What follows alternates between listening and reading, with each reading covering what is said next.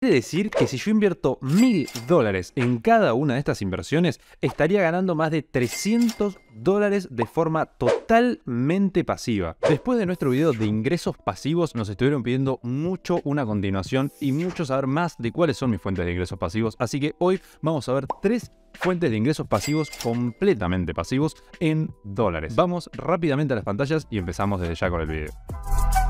La primera fuente de ingreso son los inmuebles. Es decir, invierto en inmuebles y esto me genera una renta pasiva a través de justamente el pago de alquileres. Sin embargo, yo particularmente no estoy tan interesado ni tan metido en el rubro inmobiliario, por lo que lo que hago es básicamente delegarlo. ¿Cómo lo hago? Bueno, nos venimos a las pantallas y en este caso estamos en Simple State, que es la plataforma que yo utilizo para justamente hacer estas inversiones.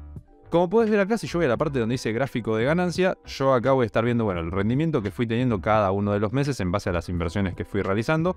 Todos los meses nos va figurando bueno, la cantidad de dinero que ingresa.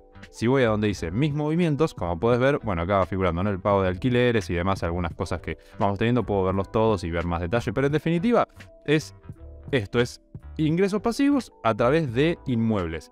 ¿Cómo funciona esto y cómo se hace? Es súper sencillo. Me voy a la parte donde dice productos y acá voy a ir a donde dice renta mensual, que es en este caso el que a mí me interesa. Cada inversor tiene sus intereses, algunos utilizan otra plataforma, está perfecto. Yo te explico cómo lo hago yo en Simple State. Una vez acá, yo me deslizo hacia abajo y pongo, eh, si quiero invertir en pesos o en dólares, puedo invertir en cualquiera de las dos, y el monto mínimo es de 2.000 pesos, o sea, prácticamente nada. Vamos a poner acá 2.000 pesos, le voy a dar a simular y como puedes ver nos va a decir, bueno, el tipo de producto que yo tengo, que tengo el de retiro flex, que básicamente significa que puedes retirar antes o después. Luego tenemos el de renta final, que básicamente yo pongo el dinero y al final me va a pagar eh, o sea, todo el, el interés junto. Y luego tenemos el de renta mensual, que es el que a mí me interesa. O sea, yo pongo la plata y todos los meses me va generando un interés.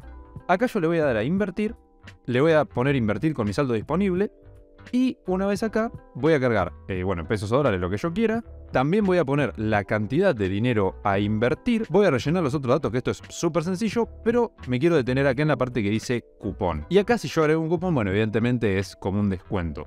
¿Y cómo funciona esto?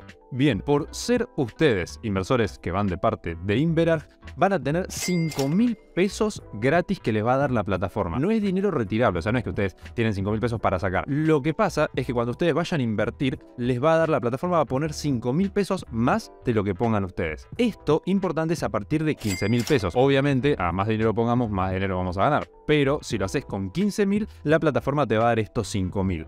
Si pones menos, no te los van a dar. Si pones más, te van a seguir dando los mismos 5.000, ¿ok? Por ende, vos pones 15.000, la plataforma invierte otros 5.000, que es básicamente un 33% de lo que vos estás poniendo. Así que ahí simplemente cargas el cupón que te van a dar cuando te registres con el enlace que tenés en la descripción y en las tarjetitas. Así que una vez que hayas creado la cuenta, ya tengas el cupón, lo que tenés que hacer es, bueno, yo voy a cerrar esta parte, venís a la parte superior derecha donde dice hola Ari, en este caso va a decir hola tu nombre, Haces clic ahí y pones donde dice mis inversiones. Una vez haces clic acá, como puedes ver, te va a decir invertir con mi saldo disponible, que es lo que vos ya tengas en la cuenta. Si no tenés saldo todavía, obviamente esta opción no la puedes utilizar. Y la al lado dice invertir sin usar mi saldo, que acá te va a decir que básicamente cargues saldo, que lo puedes hacer por transferencia, inclusive por mercado pago o hasta en efectivo. Bueno, acá pones la cantidad de pesos que querés cargar, así que yo justamente hago eso, pongo clic en siguiente, me va a dar los tres productos a elegir, si yo quiero renta mensual o bueno, que sea, yo elijo renta mensual, le doy a siguiente, voy a depositar por transferencia bancaria, le doy la declaración, siguiente, y acá me van a dar los datos con los cuales yo voy a poder hacer la transferencia. Así que acá transfiero y bueno, ya estaría.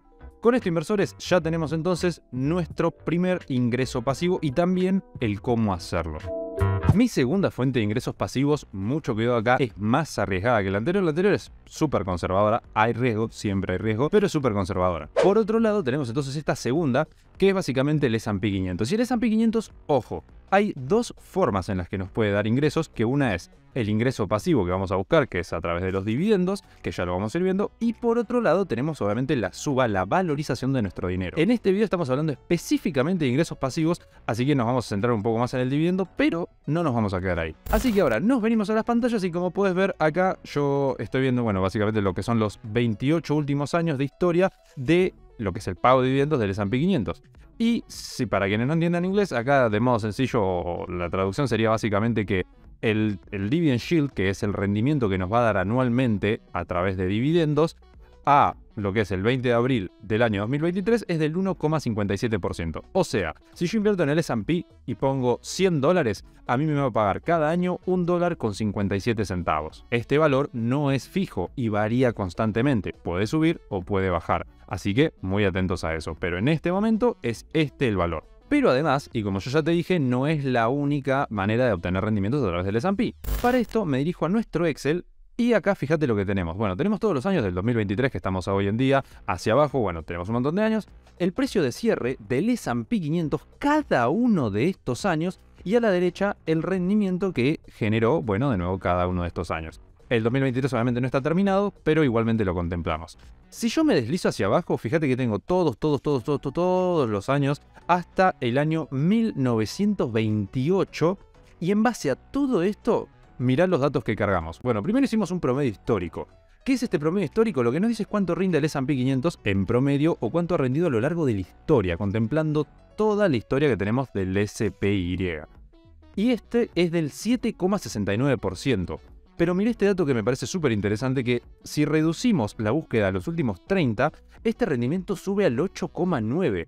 Y si lo reducimos más aún a los últimos 10 años, sube más todavía hacia el 11,38%. Y esto lo que nos indica es una clara tendencia alcista cada vez más empinada de este índice, lo cual es una noticia súper positiva para nosotros. Sin embargo, acordate, esto es renta variable, hay años que baja, como el año pasado que cayó casi un 20%. Esto no es plata fácil, me hago millonario. No, esto es, hay riesgos, yo elijo si asumirlos o no e invierto. Por eso en este canal no damos asesoría financiera ni recomendaciones de inversión. Ahora, en caso que vos elijas invertir en el S&P 500, ¿cómo se hace esto? Es muy sencillo. Yo lo muestro de Bull, sigo probando brokers, todavía no estoy seguro con cuál me voy a quedar, pero sigo mostrando de Bull porque es el que la gran mayoría utiliza. Para esto me voy a la parte superior derecha donde dice operar, pongo cargar orden, acá voy a elegir el símbolo que yo quiero utilizar, en este caso el SPY, Puedo comprarlo en pesos como CDR o también como CDR en dólares como SPYD, la D de dólar. Eso elige cada uno según lo que quieran invertir. Es lo mismo, porque muchas veces nos preguntan qué es mejor. Es lo mismo, peso dólar es lo que te convenga a vos. Una vez que tenés esto, bueno, vas a elegir eh, el primer comprador o el primer vendedor en base a lo que quieras hacer, si es comprar o vender. Si yo quiero comprar, voy a elegir el que dice precio de venta, porque evidentemente él quiere vender y yo quiero comprar, y ahí juntamos esas cosas. Ahora simplemente vamos a cargar, bueno, en este caso yo estoy fuera del área del mercado, pero en caso que estuvieras dentro del área del mercado, le vas a dar a enviar, siguiente, siguiente, eh, son tres botones literal y ya ejecutaste la compra. De esta forma ya invertís en el S&P 500 y empezás a recibir tanto los dividendos que no tenés que hacer nada, se acreditan solos en tu cuenta y además, bueno, el rendimiento que no, tampoco tenés que hacer nada, simplemente elegís cuándo venderlo. Continuamos ahora con mi tercera fuente de ingresos pasivos. Y esta tercera son las obligaciones negociables. ¿Qué son las obligaciones negociables? Probablemente ya lo sepas, básicamente son bonos, son un pagaré. Pero si querés ahondar más en información lo vas a tener ahí en las tarjetitas de este video. En definitiva, yo voy a utilizar para el ejemplo una de las cuales invierto yo, que es YCA6O. Esta es una obligación negociable que yo compro en pesos y me paga a mí en dólares. Como puedes ver, y esto es súper importante que lo sepas, eh, primero vamos a tener algunos datos, ¿no? Como quién es el emisor, es IPF, la moneda de emisiones en dólares, bueno, fecha de emisión, cuándo vence, que vence en el 2025, este dato es importante para saber hasta cuándo nos van a pagar ingresos completamente pasivos. El plazo, bueno, sabemos que es a 10 años porque empezó en el 2015, termina en el 2025, pero importante esto, el interés es del 8,5% anual. Pagaderos de forma semestral los días 28 de enero y 28 de julio de cada año, ¿ok? Esto está bien pero importante este 8,5% anual. Cuando nosotros hablamos de este interés, es el interés que a vos te van a estar pagando de forma anual a la hora de emitir la obligación negociable. A partir de ahí el rendimiento empieza a variar porque empieza a variar el precio. No voy a ahondar mucho en detalle en esto porque se va a hacer demasiado extenso el video. Vamos a hablar en ese caso de valor técnico, de paridad, de la TIR, innecesario complicarlo. Vamos más al hueso. ¿Y qué significa ir más al hueso en este caso? Saber el rendimiento que me va a ofrecer si yo lo compro hoy. Hoy, a la hora de estar grabando este video, fíjate que me venido al, al básicamente es un PDF que nos da el IAMC. Bueno, no, no quiero entrar mucho en detalles para no hacerlo complicado, pero si yo busco la obligación negociable como tal, que en este caso es ICA6O, mira lo que pasa. Yo hago un zoom acá y vas a ver que, bueno, esta es la obligación negociable que nosotros estamos analizando. Nos da también, bueno, el vencimiento, voy deslizando hacia la derecha, sigo, sigo, sigo, sigo. La renta es esto que veíamos recién del 8,5%, me sigo deslizando hacia la derecha. Y mira lo que pasa acá. Este valor Este 13,03%, si yo alejo la pantalla, vas a ver que en la parte superior dice TIR, ¿ok? Ves que acá dice TIR anual.